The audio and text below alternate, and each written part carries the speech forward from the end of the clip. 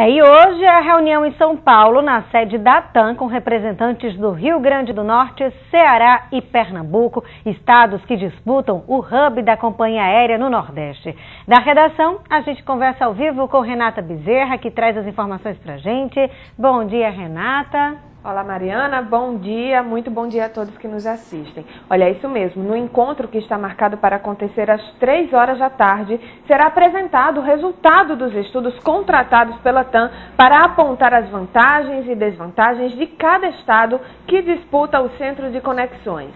Em junho, técnicos visitaram o Aeroporto Internacional Aloysio Alves. A campanha do Hub aqui no Rio Grande do Norte destaca entre os benefícios do Estado a proximidade geográfica de Natal com a África e a Europa, a rede hoteleira de Natal e a refinaria Clara Camarão, que produz querosene de aviação.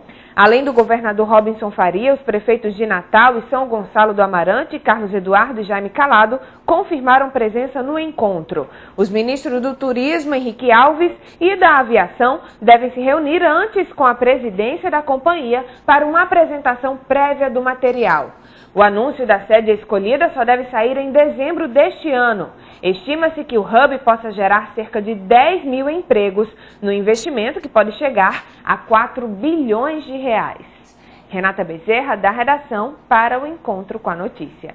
Obrigada, Renata. E aí, Jane, é muita expectativa aí por esse hub, né? É, eu gosto quando você fala hub, né, esse, essa central de conexão de voos que a Latam está pretendendo implantar aqui no Nordeste, que é uma porta de entrada e saída para a Europa, para a África, principalmente considerando aqui a América do Sul e não apenas o Brasil.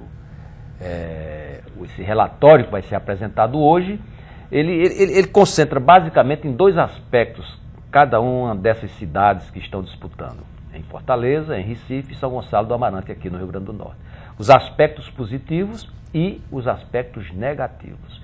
Em relação aos aspectos positivos, certamente o Rio Grande do Norte tem muita vantagem, porque todos os voos que saem daqui da América do Sul, é, em direção à África ou Europa, a maioria deles, a quase totalidade, passa aqui por Natal. Então, se passa é porque é mais econômico. E as economias trabalham é, baseadas, as empresas baseadas, trabalham baseadas no lucro. Então é importante estrategicamente, São Gonçalo do Amarante ganha para Recife e para Fortaleza e outros aspectos também positivos que é, podem favorecer aqui ao Rio Grande do Norte, como por exemplo o turismo, né, também é, existe aqui uma infraestrutura muito maior em termos de leitos do que é, em Fortaleza e em Recife. Quanto aos aspectos negativos, aí é que eu acredito que pode entrar a articulação dos governadores, dos governos. Tem esse problema, como é que você pretende resolver? No caso aqui de, de São Gonçalo do Amarante, a gente sabe vários problemas. O acesso, os acessos, aliás, é, o trânsito para chegar, para sair, os terrenos no entorno, como é que o governo vai resolver esses problemas. O governo vai dizer, esse eu resolvo assim, aquele eu resolvo assado, e a Latam vai avaliar o grau de confiabilidade de que aquele governo realmente tem como resolver aqueles problemas.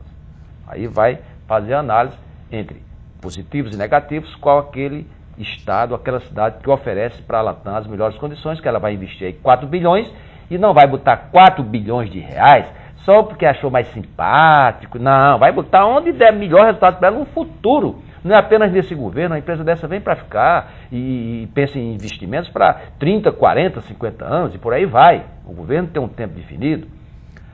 Nesse aspecto aí, para decidir até dezembro, há algo que precisa ser analisado. Por exemplo, Fortaleza. O governo federal anunciou que o aeroporto de Fortaleza vai ser privatizado. Um processo de privatização desse não é menos de um ano o tempo necessário então, Fortaleza, até dezembro, certamente não vai ser privatizado.